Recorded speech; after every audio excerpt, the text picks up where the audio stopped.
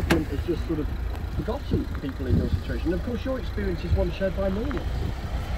Yeah, it certainly feels that way. It feels like the message that we were given from the government was, well, either you move into it, which obviously is a huge financial and emotional commitment, and not not a financial commitment I could make, or just deal with it. And it's not something that can be dealt with. We're nearly a year on now, and for me, it's not something that can be dealt with for that long a time. It's a short-term solution, not a long-term solution.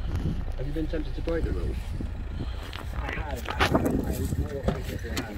Um, so I'm not going to say that everyone is, you know, top law-abiding citizen, but it, it is really difficult. But, you know, you just want to, sometimes just want a couple of more.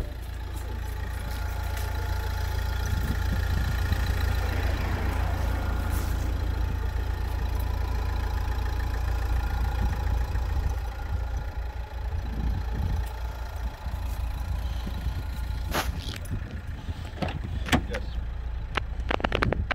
Is, has this been, is this an example? I just wonder if this is an example. I was reading a fantastic piece by Zoe Williams Guardian on this whole question of love in lockdown uh, a little earlier. And, and I did find myself thinking as a, as a 40 something who is married, have collectively political leaders and journalists like me been blind to this? That, and, and of course, it's not just people in their 20s, there are people who are, who are in uh, relationships that are non-cohabiting at all sorts of ages. But is, is this something where governments have been blind to the, the day-to-day life experience of millions of people, including lots of broadly your age? Absolutely. Um, I think I think that's deplorable to say yes they have been blind, but um, have to kind of have to